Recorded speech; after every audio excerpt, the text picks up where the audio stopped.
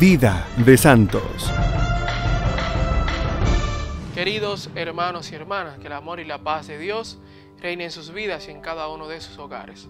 Hoy, 3 de agosto, la iglesia nos presenta como modelo de santidad a Nicodemo, discípulo del Señor. El nombre Nicodemo es de origen griego que significa victoria del pueblo.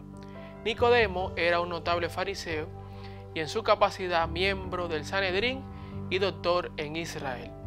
Era un líder de los judíos y sin duda uno de aquellos discípulos anónimos que se dejaron impresionar por la fascinación que Jesús debía de suscitar en su entorno.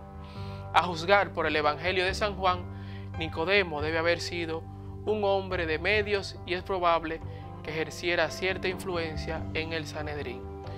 Era ya avanzado en años y aparece como un creyente inteligente e instruido, pero tímido y no fácilmente iniciado en los misterios de la nueva fe.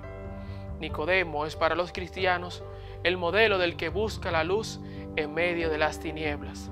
Es el símbolo del paso de unos saberes eruditos a otro saber donado por Dios. Es el creyente que vacila y busca, el que se oculta y sale a la luz.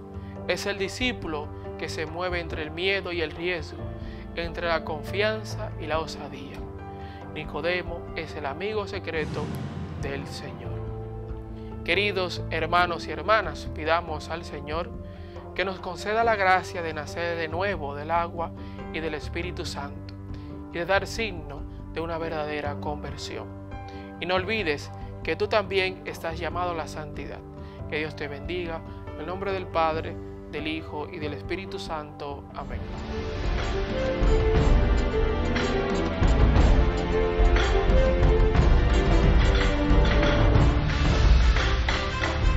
Vida de Santos.